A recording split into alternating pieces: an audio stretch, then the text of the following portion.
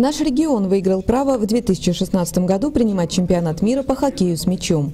Одной из спортивных арен станет Димитровградский строитель. Модернизация стадиона проходит в рамках реализации соглашения с госкорпорацией «Росатом».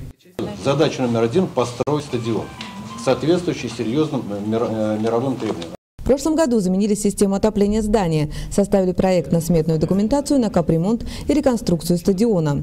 Всего ушло почти 7 миллионов рублей. Мы сейчас подготовим а, правительство Ульяновской области совместно с э, Департаментом физической культуры и спорта, подготовит дорожную карту, разработает по э, мероприятиям, которые мы сейчас должны будем сделать, определиться по финансированию и по срокам финансирования. В этом году запланирован капитальный ремонт основного здания. Должны заменить кровлю, намечена полная перепланировка здания с учетом потребностей людей с ограниченными возможностями здоровья. Запланирован и ремонт трибун, и строительство футбольного поля с искусственной травой и наморозкой льда. Татьяна Елисеева, Эмир Хуснудинов, Новости Димитровграда.